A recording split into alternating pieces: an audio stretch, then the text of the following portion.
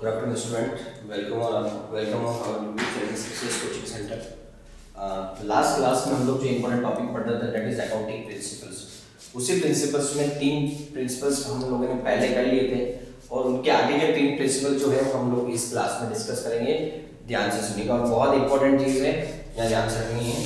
सबसे पहला जो प्रिंसिपल आता है that is called full disclosure principle इसका मतलब ये होता है कि firm has to disclose each and every item whether it is in small amount and whether it is in big amount. Because legally it is required to disclose all the terms and for the better presentation of financial statement we have to disclose all the information related to business at any time. That is called full disclosure principle. That means firm has to disclose each and every item whether it is small amount and whether it is higher amount always firm को disclose करना पड़ेगा whether always business को disclose करना पड़ेगा that is called full disclosure principle ये चीज़ हम लोगों को ध्यान में रखनी है क्लियर यहाँ पर देखो एक लाइन दी हुई है जो मैं आपको पढ़ रहा हूँ there should be complete and understandable reporting on the financial statement of the significant information related to the economic affairs of the entity यहाँ पर एक चीज़ लिखा हुआ है कि कौन सी इंफॉर्मेशन रिकॉर्ड मतलब आपको लीगल रिक्वायरमेंट के केस में भी आपको हर चीज़ को डिस्क्लोज करना बहुत ज़रूरी होता है। ऑलवेज आपको ईच एंड एवरी चीज़ को डिस्क्लोज करना ही है लीगल के अकॉर्डिंग भी।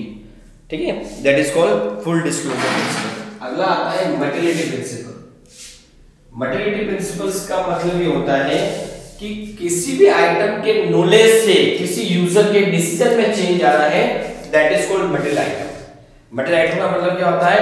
That is knowledge of any item which affect the decision of any user any investor that is called material item तो मटेरियल रिलेटेड प्रिंसिपल से बोलता है कि हमको मटेरियल इंफॉर्मेशन को ऑलवेज सेपरेटली डिस्क्लोज करना पड़ता है। बट इंपॉर्टेंट चीज़ ये है कि मटेरियल जो इंफॉर्मेशन है वो नेचर के अकॉर्डिंग अलग अलग चीज़ होती है। कहाँ पर कोई चीज़ मटेरियल है तो कहीं पर वो नेग्लिजिबल होती है। तो ये तो नेचर पे डिपेंड करता है कौन सा आइटम मटेरियल कौन सा एक मटेरियल लेकिन ये चीज़ आपको जानना जो भी मटेरियल आइटम आपका होता है, उसको ईच एंड एवरी टाइम आपको सेपरेटली डिस्क्लोज करना पड़ता है। ये बहुत इंपॉर्टेंट चीज़ है। और मटेरियल आइटम का मतलब क्या होता है? Knowledge of any item which affect the decision of users public investors that is called material item तो material principle ये बोलता है कि materially item को always हमको disclose करना पड़ता है थर्ड आता है prudence और conservatism principle that means आप all estimated losses को तो आप लोग रिकॉर्ड कर सकते हो बट एस्टिमेटेड प्रॉफिट को आप रिकॉर्ड नहीं कर सकते जब तक कि वो आपके हाथ में कैश नहीं आ जाता है that is called prudence principles that means ये हो गया कि हम लोग जैसे स्टॉक में हम लोग लिखते हैं cost of market value which is lower हम लोग प्रोविजंस बनाते हैं फॉर डाउटफुल डेब्ट्स ये सब क्या है? एंटीसिपेटेड लॉसेस जिसका हम लोगों ने अरेंजमेंट पहले से ही करके रख दिया है।